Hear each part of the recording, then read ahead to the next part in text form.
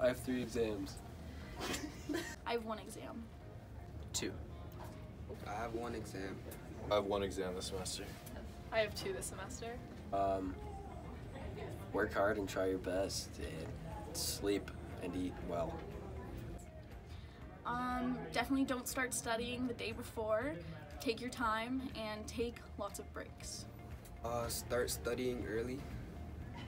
Uh, start studying early. Don't leave it to the last minute. Then you're gonna screw up. Your life's gonna go bad. You're gonna get hooked on drugs and stuff, and you won't get into university.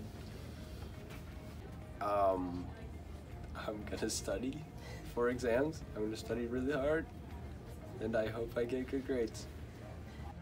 I personally make cue cards and that's about it. I'm gonna study hard, and I'm gonna start early. You know, making study notes, get those cue cards going, get some study partners, hit the library, hit the coffee culture. You know, get that, put the grind in. That's what you gotta do. Um, I'm just like preparing all my notes, writing everything out, organizing my time to make time for all the subjects. Honestly, not that much. Just kind of winging it.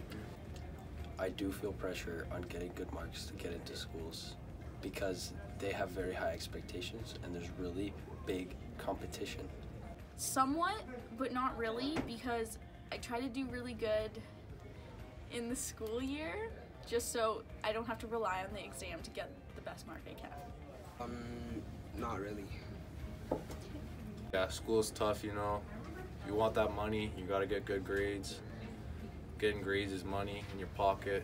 If you don't get good grades, like I said, you won't get into school, get into drugs. Drugs lead to death. A little bit, yeah. Not really.